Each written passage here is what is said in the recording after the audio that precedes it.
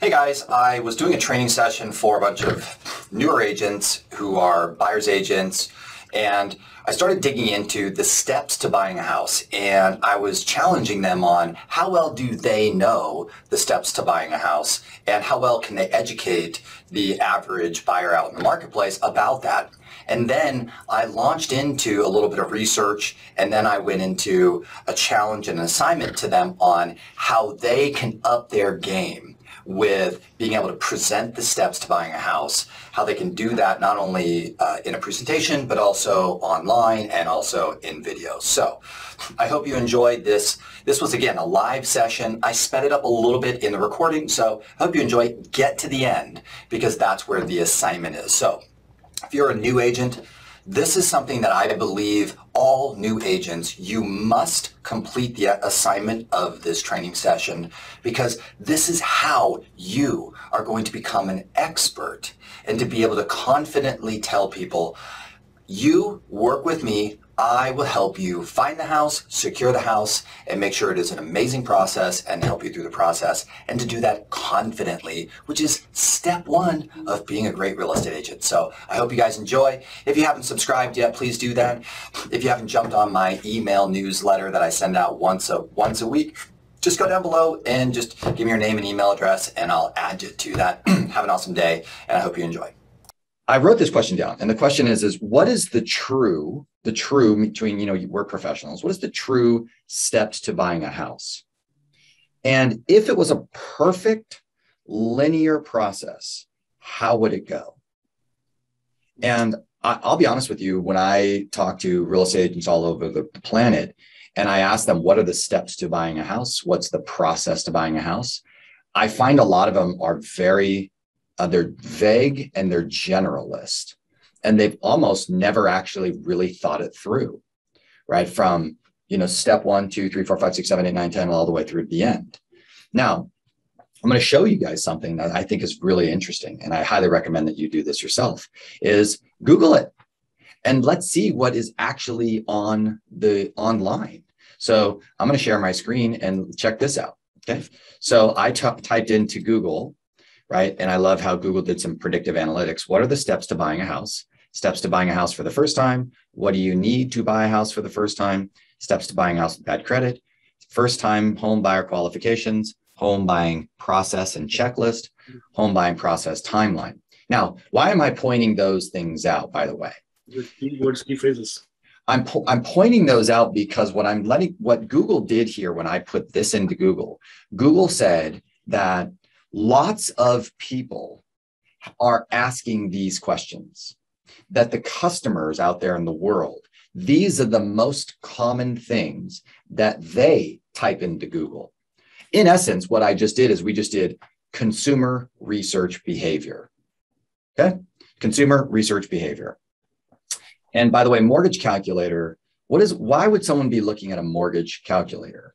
Let me ask you guys that interesting question I mean, they want to know how much they can afford and what kind of uh, yeah. they might have for the property. Yeah, people are very curious about the purchasing power and how finance works. And so it's interesting to be aware that uh, when you actually look at the, the consumer research behavior, Google Analytics, lots and lots of people are using these mortgage calculators all the time. So it's, it's just an interesting to be aware of what this is. But let's just get into the let's get into the question. So let's ask Google what Google believes is the most reputable and the most read and the most thorough article that answers the question. And let's see what Google says. Wow, that's so funny. Google says that Rocket Mortgage has the most reputable, has the most uh, thorough article on how to buy a house in the step by step process. It's kind of sad, don't you guys think, that actually maybe the National Association of Realtors or that, you know, realtor.com doesn't have it or something from our industry doesn't have it. It's kind of weird, don't you think? Since we are the industry of helping people buy houses, why the heck does Rocket Mortgage have the number one? This is a really interesting question, isn't it? Okay. And then Investopedia has the second, Quicken Loans has the third, NerdWallet has the fourth, Discover.com has the fifth. Zillow has the seventh. And then Home Guides F- SF Gate. That's interesting. And then List with Cleaver. I mean, it's kind of sad, don't you think, that our real estate, the industry of real estate, actually doesn't have a ranking on the first page of Google in terms of how to buy a house and the step by step process? It's kind of a weird thought, isn't it? So let's take a look at what the number, what Google determines is the number one uh, resource for this information. And let's look at it because this is what everybody else is looking at, right? So buying a, buying a house in 2021, step by step, how to, right? Okay, decide whether you're ready to buy a house, good idea. Calculate how much how much of a house you can afford, purchasing power, great idea. Save for your down payment and closing cost, or be aware of them. Get pre-approved for a mortgage, find the right real estate agent, begin house hunting, make an offer on a house, get a home inspection, get an appraisal, ask for or credits, do a final walkthrough, close on the home. Not too bad, right? Right. Good. So decide whether or not you're whether you're ready to buy a house. Income and employment status, debt to income ratio, assets, credit health, willingness to live in one place, timing, pretty good stuff. Not too bad. Calculate how much you can afford, obviously debt to income ratio, and this is Rocket Mortgage, so they're really excited about that. Save for down payment and closing cost, down payment, closing cost, other costs based on loan type. Good idea. Get pre-approved. Rocket Mortgage is really excited about that. Find the right real estate agent. Oh, by the way, Rocket Mortgage uh, is uh, referring. Uh, they are ref- they're referring their leads to real estate agents right now for referral fees. By the way, mm-hmm. same thing that Zillow is doing, same thing that everybody's doing. So you should probably look into that because since this is the number one blog, meaning that the most Google is recommending this blog more than any other blog that exists in the in the United States. That means that they're going to get a lot of traffic. That means they're going to capture a lot of leads, and then they're going to have a lot of leads to give to real estate agents, aren't they? Mm-hmm. So it's probably a pretty pretty good idea for you guys to look into that. Wouldn't you agree? Okay. Begin the house. Step six. Begin the house hunting process. Square footage, conditions, access to public transportation, bedrooms, baths, local entertainment, local school districts, property value trends, property real estate taxes. Uh, that's a nice list. Mm-hmm. Is that, is that better than what you guys cover? Right? Make an offer on a house, earnest money, accepting the offer, reject, give the counter offer, home inspections, home appraisals, appraisal contingencies, ask for repairs, interesting stuff, final walkthrough, close on your new home, final thoughts, the overall process. Thanks, Victoria. You did a good job. Okay. So now my question to you guys is this is what makes me sad in our industry is that our real estate, the National Association of Realtors, the California Association of Realtors, the fact that we actually don't teach, train, talk about, and or, or even have blog posts, articles, video, and education, we don't even actually in our industry talk about the steps to buying a home. And we're not even competing in, in nationally for being the resources for the steps to buying a home. It's kind of weird, don't you think? Now, going along with the last video we talked about, where we talked about how to get loyalty, right? And we were discussing kind of the fact that, like, how do we earn respect from the customer? How do we earn respect? And then how do we gain trust? And then how do we, um, how do they see that there's some advantage working with us versus anyone else? So let me, my question to you guys is, is are you, could you explain the steps to buying a home better than Rocket Mortgage in your respective marketplaces? What's Yes. I hope so. Absolutely. Right. Now, let me ask you an important question is, well, where is your document? Where is your presentation on the steps to buying a home? Right. And this is what, what I would say is your assignment. Now, one of the easiest ways to, to crush this assignment mm-hmm. would be very simple. Type it into Google, go read through Rocket Mortgage, Zillow, Investopedia, read through all of the stuff that they have, take the headlines, the subheadlines that they have, right? Look at the steps that they all have, and then make a nice page, and then just make yours significantly better. By the way, this is you know this is how all of those guys do it. By the way, so what Rocket Mortgage did, because they're the newest player in the space. Previously, Investopedia was ranking as number one. Previously, Dave Ramsey and Zillow would be in the top five. Realtor.com would be in the top five. But Rocket Mortgage has jumped on top of them and is, is outperforming them. So one of the ways that they do that is they go take a look at what everybody else has done, and then they just add more and make it a little bit better, make it a little bit more thorough. And so in the game of online SEO, that that is actually the game. It's kind of quite entertaining. Okay. So my request to you guys is so what would happen if you had a nice PDF of the steps to buying a home? What would happen if you had a nice video series on the steps to buying a home? And then you could now share that. Maybe it was a PDF and you met a, a, a new buyer that was new into the marketplace and you said, Hey, you know, have you taken any time to, you know, read about or learn about the steps from A to Z on how to buy a home? Most of them are going to say, well, not really. And then if you said, well, I, you know, I have written a, a thing of what I do and how I do it on the steps to buying a home. And I've researched, you know, everything that's out there uh, in the internet, uh, you know, and as an expert, would you like me to share that with you? There's, I've written down the 12 steps. Would you like to look at that? What are they going to say? Sure. And now, if they actually read it, even just the fact of having it makes you look like what? An expert. Yep. Now, and just to keep things very simple, if you had one and then the other agent that they were talking to didn't have one, stand out. Uh, it makes me stand out. Makes you stand out. Yep. Right? Okay. And what I also, what's interesting to me too is as you guys go look at each step and as you reflect on the step and you do some research on that step and you look at what all of the players are saying about that step and then you think about what you say and how you say it and then you put a little bit of words onto a piece of paper what happens is is all of a sudden your presentation just gets significantly better. And so this is uh, i've been i've been really reflecting on this question of how do you become an expert? Well this would be the process right? If we were saying look clearly the world agrees that step one is this. So to become an expert, why don't I go read what all of the top most respected experts say and recommend and how they present step one. And then what I'll do is I'll study that inside and out. And then I will then go create a presentation of the best in the world. And this will become my new step one. Mm-hmm. Right. And so then now, in essence, are you now demonstrating the highest level of expertise in that moment. That's pretty cool stuff, right? So there's some practice there, and and then Jay, one of the things that I would love to see too in this process is if after you kind of write it out a little bit, right? You don't have to like write out like this perfect, you know, thing like a perfect blog post, but you kind of make your points like.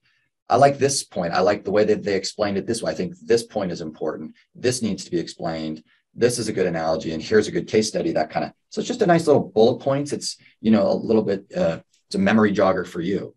But what then what i would really love to see is i'd love to see you do a video presentation of that information.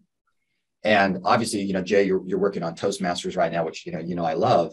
Thank you. and you know the reason why i'm saying that del ray is because if I can now see, you know, you could practice in a video presenting this new expert knowledge mm-hmm. and kind of go through the motion of practicing it on video, then what's going to happen the next time that you are at an open house talking to a buyer? The next time that you are on the phone with a Zillow lead talking about the steps to buying a home, the, the next time that you are showing a property for the first time with a buyer and you can tell that they're pretty new to this process, or the next time that you're on a buyer consultation with a first time home buyer, the next time you explain step one, they're going to be like, wow, you're really good.